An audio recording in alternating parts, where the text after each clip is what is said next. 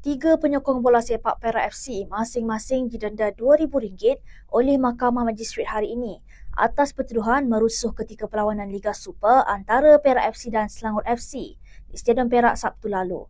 Tertuduh Muhammad Aiman Fidaus Badrul Hisham, Muhammad Amirul Asnil Mat Pandir dan Muhammad Hayan Sufi Muhammad Sabri juga berdepan hukuman penjara tiga bulan jika gagal membayar denda berkenaan manakala seorang lagi tertuduh di bawah umur yang berusia 17 tahun turut mengaku bersalah bagi kesalahan sama dan diikat jamin sebanyak RM1,500. Bagi kesalahan itu, kesemua tertuduh didakwa mengikut Seksyen 147 Kanun Keseksaan yang memperuntukkan hukuman penjara maksimum 2 tahun atau dengan denda atau kedua-duanya sekali jika sabit kesalahan selain mahkamah menetapkan 28 Jun depan sebagai sebutan semula kes.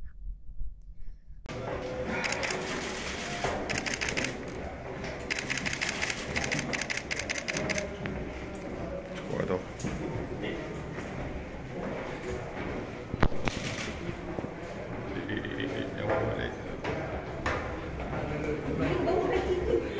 Tiga tingkat.